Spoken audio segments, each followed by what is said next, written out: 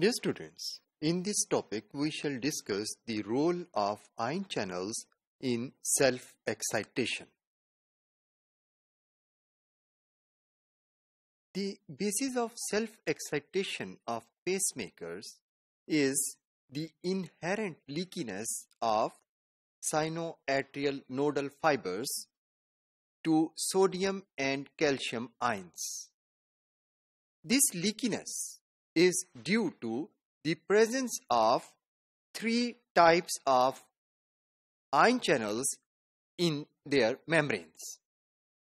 These are the fast sodium channels, slow sodium calcium channels, and potassium channels.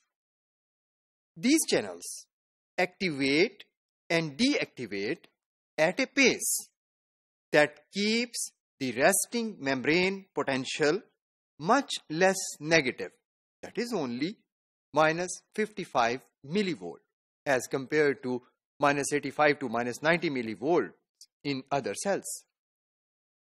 It also keeps an unstable and rising resting membrane potential due to continuous influx of sodium and calcium ions. Dear students, the fast sodium channels open immediately as the membrane potential goes less negative than minus 55 millivolt after an action potential when hyperpolarization occurs. They remain open for only few milliseconds because as they open they let the sodium ions to immediately move inside the cell. This sodium ion influx prevents developing a stable and more negative resting membrane potential. These channels become inactivated uh, and blocked above minus 55 millivolts.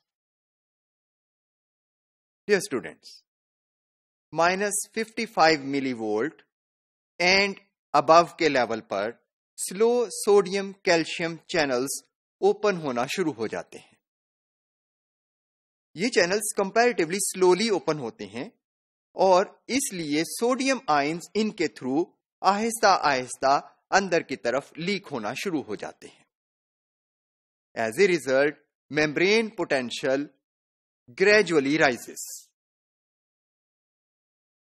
This rise prevents to establish a stable resting membrane potential. इस तरह से वो minus fifty five millivolt पर भी resting membrane potential stable नहीं होता, बल्कि Aahista Aahista rise करता चला जाता है राइज करते हुए ये मेम्ब्रेन पोटेंशियल जब माइनस फोर्टी मिली वोल्ट पर पहुँचता है तो this is the threshold level at which the sodium calcium channels become activated maximally. So, the influx of sodium and calcium ions starts rapidly. That triggers that triggers an action potential. Dear students, the rise in membrane potential is slower in the range of minus 55 to minus 40 millivolts. So, the sinoatrial nodal action potential is slower to develop. ये जो sinoatrial nodal fibres का action potential है ये इस वजह से slowly develop होता है as compare to the action potentials of ventricular muscle fibers. Dear students, now we shall discuss the role of potassium channels. After the action potential the potassium channels open slowly. Their opening causes the return of membrane potential back to its negative uh, state. However, owing to their slow activation, duration of sinoatrial nodal action potential is longer.